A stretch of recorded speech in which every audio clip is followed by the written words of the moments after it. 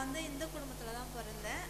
நான் வந்து எங்கள் மாமியார் வீட்டு வந்ததால் நான் ரட்சிக்கப்பட்டு இப்போ இங்கே வந்து நின்றுட்டு இருக்கேன் ஆண்டவருக்கு சோத்துரும் என்னோடய லைஃப்பில் நடந்தது எல்லாமே ஆண்டவரோட கிருபையில் எல்லாம் நடந்தது தான்.